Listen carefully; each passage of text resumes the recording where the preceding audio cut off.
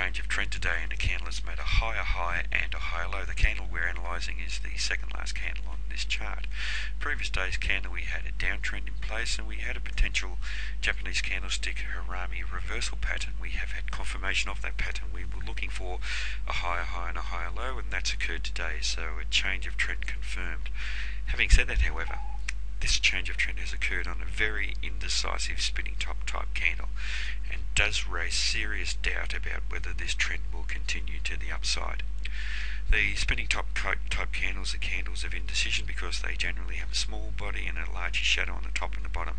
And uh, this candle uh, shows the large shadow uh, representing the buyers uh, being rejected from the resistance of 136.14 and the sellers being rejected from support around the Tenkan-sen at 135.60 and the support around the 135.49 level.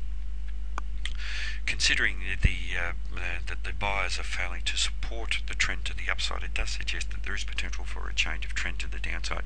So we are looking for a lower high and a lower low, but we do need to consider that we have very, very solid support just below the Tenkan-sen at the 135.49 level that was previous uh, resistance in the near past and then major support in the near so a very solid area. If we do see a bearish close down below there and early bearish activity below there, we could quickly see the market testing to the 134.85 level. Now in terms of patterns in this market, and here we have a uh, type of uh, pennant pattern that's formed. Here we have the prior uptrend in this market, not a substantial uptrend leading into the pattern. The pattern uh, congestion does look a little bit too uh, large for the prior trend leading into it, but really what the story here is about is the congestion and the converging of the uh, highs and lows within this pattern. Pennant patterns tend to form rather quickly, and that's what we've seen here. And uh, they form over a very tight range, and uh, we've pretty much seen that. And uh, they tend to be continuation patterns, so the more likely direction of breakout would be here to the upside.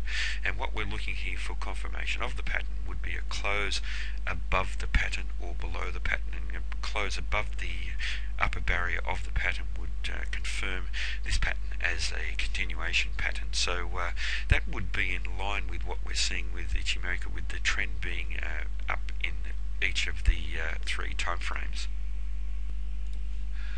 Now in terms of the Fibonacci extension and here today as we've seen this market rally and change trend we've seen the market test exactly to the 38.2% level and be rejected from there on an indecisive spinning top type candle and this suggests that there is a very real possibility of a change of trend to the downside today.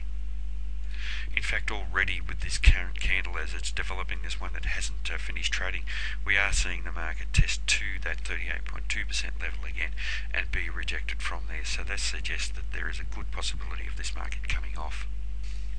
In terms of the Fibonacci retracement, and uh, here uh, also with this technique, we've seen the market test to the important 61.8% level, through the 50% level, through the 38.2% level, be rejected from all of those areas and failing to close above those areas on this indecisive spinning top candle, suggesting a very real possibility of a change of trend. So we are looking for confirmation of that. So the low of the current candle becomes very important, bearing in mind, however, that we do have solid support at that low.